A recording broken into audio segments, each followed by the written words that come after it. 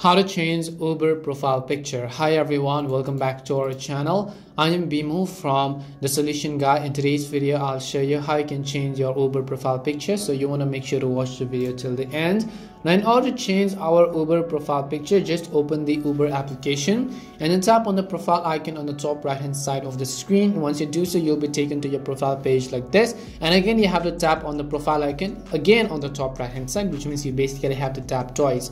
Once you do so it'll take you to the editing account page. Now you have to simply tap on the little pen button which you see near the profile photo as you can see in this image as well. Once you tap on the little pen button you have to simply select any of the image that you want to choose as your profile photo just go ahead and select any of the images that you have. Once you select any of the images that you want to actually change to you have to simply tap on the check button on the right hand side bottom. Once you do so you have successfully changed your profile photo on uber. And that's all it takes to change your uber profile picture. We hope the video was really helpful and if it did help you then make sure to leave a like and subscribe to our channel. And if you have got any more questions feel free to leave them down. Thank you very much for watching and see you soon in our next video